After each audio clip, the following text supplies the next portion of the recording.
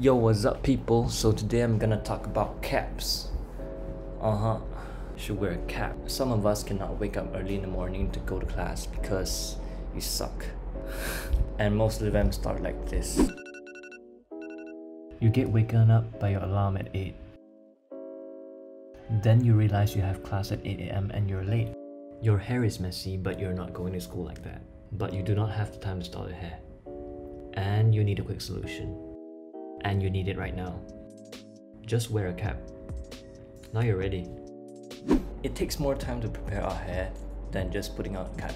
So to me, wearing a cap is like covering up a crime scene. Yeah, like your hair is messy and it's a crime scene, then you cover it. Look at this guy over here.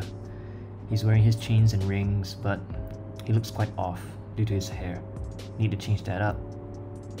Now look at this guy over here. Whoa, just a cap. Now he turned into a superstar. So I think by now you should get the importance of caps. I'll be showing you examples of on how I style my caps. So this is an everyday outfit which everyone can pull off easily shorts because it's hot, an oversized white tee, and a bracelet which my friends gave me when I was in secondary school. Due to the light wash of the denim, the orange cap is considered the pop in the fit. You can also change the shirt to a black shirt. Again, the orange cap works because of the blues in the light wash shorts. If you don't have an orange cap, you can of course wear a black cap which is considered an essential to everyone's wardrobe. Now when you have a lot going on in your fit, for example bright colors in your fit, you want to make sure your cap does not pop too much. I'd either let it be black or just match it with the shirt or the pants if you are able to.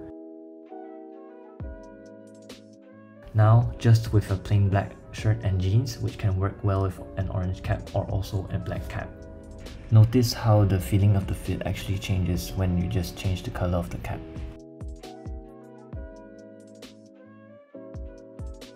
a buying tip for y'all. If you want to buy caps, I would recommend going in-store because you do not know what types of cap you like.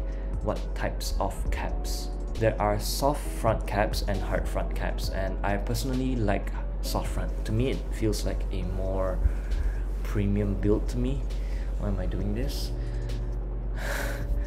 yeah and I like Nike caps personally and you can like Adidas caps with those three stripes which I do not like. Fight me. So these are the current caps that I have.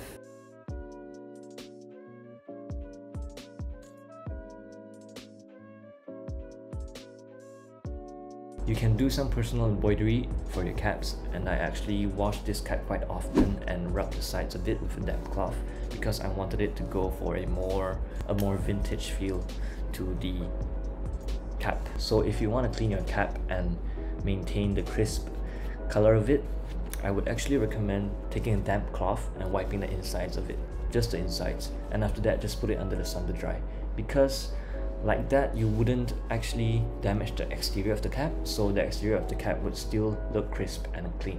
Cool. Or you could just refer to the um, thing inside here.